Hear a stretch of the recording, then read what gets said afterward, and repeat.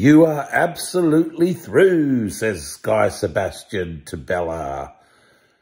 Good song, told a story. Um, wow, she's really put it out there. Like, not many people would really want to sit down and tell the whole world that their dad's in jail and a drug addict. I mean, oh, uh, this is the new world where we sit down on TV and just, nothing's beyond limits. We just talk about anything and everything. It's really not normal. But anyway, she used it to uh, help sell the song and get herself through and whatever. And I guess um, that's just showbiz these days. Uh, I'm just a little bit sick of Jess and her phony, oh, I feel everything and I love everybody.